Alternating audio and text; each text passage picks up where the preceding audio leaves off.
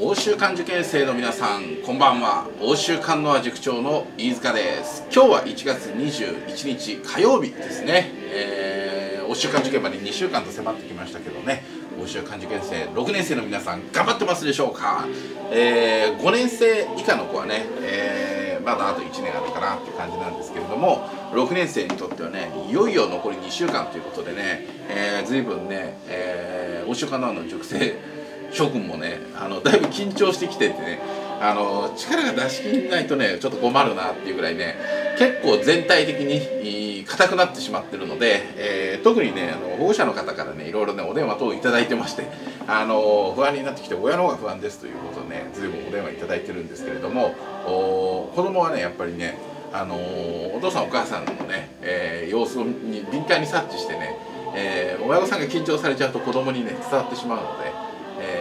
まああの、どっしり構えていただいてですね、えー、子供をねあの後ろからバックアップしてもらえるとねありがたいなと思います。あのー、今日ねどんなネタで話そうかなと考えたんですけど残り2週間でねあのまあ、一個一個ね欧州間の傾向分析のこともね話はしていきたいと思ってるんですけれどもおみんなね6年生はね今ね報告書の点数を大体集計終わってまして作文もまあこのぐらいまあ、取れるっていうのがね、えー、大体目星がみんなついてきてるんですね。そうすると あの適正試験で、まあ、何点ぐらい取らなきゃいけないのかと、まあ、6割から7割ぐらいは適正で欲しいところなんですけど500分のね、えー、300点でいい子350点まで取らなきゃいけない子350オーバーまでいかなきゃいけない子とかねいろいろ様々なんです、まあ、なぜ様々かっていうと、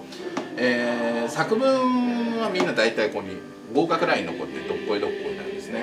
で報告書がね結構ねここに、まあ、差がついてる子っていうのがいまして、えー、全員がね別に300点を持ってるわけじゃないんですよ。200最低でも560は欲しいところですけどできればね280ぐらいある子は結構いい部類です。でその報告書の出来具合によって、えー、20点30点下がると350点取らなきゃ勝てない子もいれば300点前半でもね、えー、いい子っていうのがいるんですよ。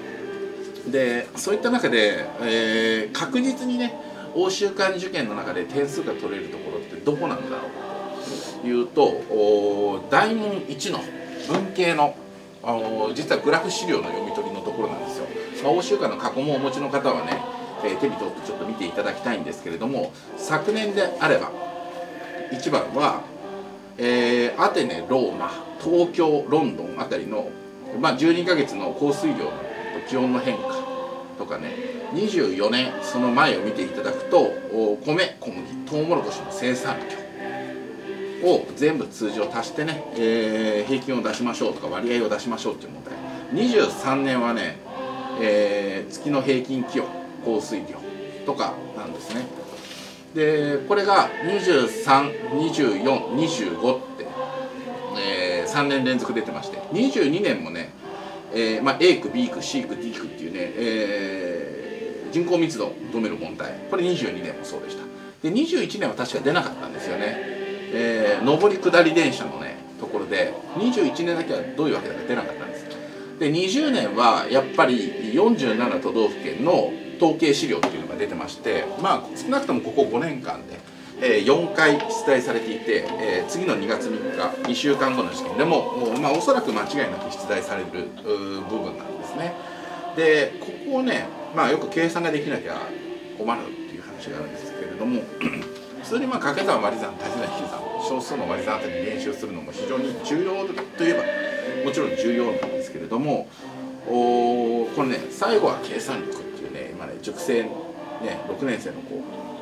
中心にして、えー、ちょっとこれ出版がねあの印刷が間に合わなくて、えー、ちょっと4年生5年生の子はね、えー、2月以降にねこれちょっとやっていただければと思ってるんですけども6年生の子これ見てるね欧州館の6年生の子。これね、えー、最後の計算力をこれやってほしいなと思いますのであの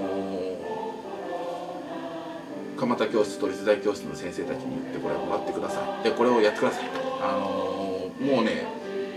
昨日からねっとねこれ印刷が間に合いましたので6年生の子これやってもらえればと。グラフ資料の読み取りばっかり。全22問入ってますので、えー、なかなかねこういう風な問題集って売ってないんですよね。で僕もこれね作ってほしいってね去年の夏からねみんなに言われててなかなかねあのー、途中で挫折しちゃったりしてねあのー、結構これ作るの大変なんですね。この統計資料の問題って。でお週刊の佐々木先生がねこれね「まあ飯塚ちょっと解けと俺が作るぞ」って、ね、言ってくれてね、えー、作ってくれたんです俺。このところね徹夜毎日して。で佐々木先生がこれね試験に間に合わせて作ってくれましたので、えー、これをね、えー、最後は計算力。これね図表のお週間一番のところで言ってるね計算問題。これをねがっつりやって、えー、残り2週間あ備えてもらえればなと思います。ですので、えー、の最後は計算力。ここでね確実に点数取れる部分なんですよ。だからねこれ熟成食はねしっかりね、えー、鍛えてもらえればなと思います。えー、まあ本当にねあのー、お週間受験生たくさん今年もねもう質が終わってますからね、えー、もうすぐしたら倍率がね発表になると思うんですけれども女の子は随分受験生が増えるんじゃないかと。いうふうなね、えー、予想も立ってるようで、えー、男の子はね、まあ、横ばいか若干もしかして減るかもしれないなっていう噂もあるんですけれどもこれ蓋を開けてみないと分かりませんからね、えー、まああの直前でね不安になることたくさんあるかもしれないんですけれども 今までしっかりやれてきてるものとあと曖昧なものとあとあまり手がついてないものがあるとしたらあまり手がついてないものはもういいじゃないですか。やらなくても、うん、2週間しかないわけだし。でしっかりできてるものは、まあ、もう一度よく確認をしてもらって、えー、大丈夫だなって安心を得てください。で一番やらなきゃいけないのは曖昧に中途半端にできているものだよね、うん、あの試験本番では10の曖昧な知識よりもしっかり定着している3の知識がね、えー、力を発揮するんですね。ですので曖昧になっているものっていうのがあるとすれば、まあ、理系の問題の解き方が中途半端にできている問題とかそういうところはしっかりチェックをしてですね、えー、塾の先生等にね、えー、もう一度ね相談して、え質問して完全に100%自分が解けるように力をつけていってほしいなと思います。それがね精神的な安定にもつながりますのでねえー、もう一度基礎基本の確認をして、えー、2月3日あ悔いないね5週間受験をしてほしいと。120%の力をみんな発揮してください。じゃあ残り2週間風邪などひかないようにね、えー、しっかり頑張っていきましょう。じゃあ5週間目指して頑張ろう。